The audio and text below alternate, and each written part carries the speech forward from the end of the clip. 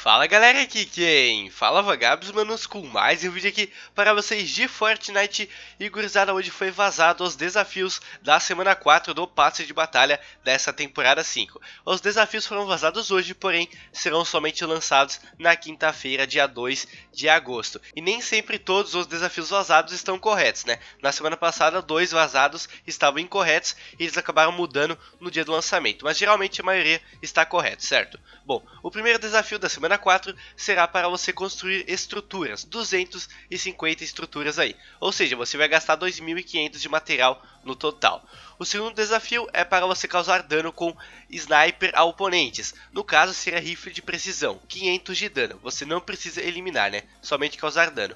O terceiro desafio é para você pular através de anéis flamejantes com carrinhos de compra ou com carrinho de golfe. Três anéis flamejantes, que ainda não tem no mapa, né? Mas eu acho que eles vão adicionar se realmente for o desafio correto. O quarto desafio é para você vasculhar baús na fábrica de descarga, 7 baús. O quinto é para você vasculhar entre um poço de gasolina, um campo de futebol e estante mountain, que eu não sei muito bem o significado, mas enfim, no dia que esses desafios forem lançados, né, que será na quinta-feira, dia 2 de agosto, eu vou fazer um vídeo, né, dando dicas simples aí de como resolver esses desafios. Inclusive esse aqui, né, vou mostrar o local exato aí da recompensa. O penúltimo desafio é para você eliminar oponentes com pistolas, 3 oponentes. E o último desafio é para você eliminar oponentes na cratera empoeirada, 3 oponentes. Lembrando que nem sempre os desafios estão corretos, os que são vazados, mas enfim, geralmente a maioria é, né? E os três primeiros desafios, o pessoal que tem apenas o passe livre também pode resolvê-los, ok?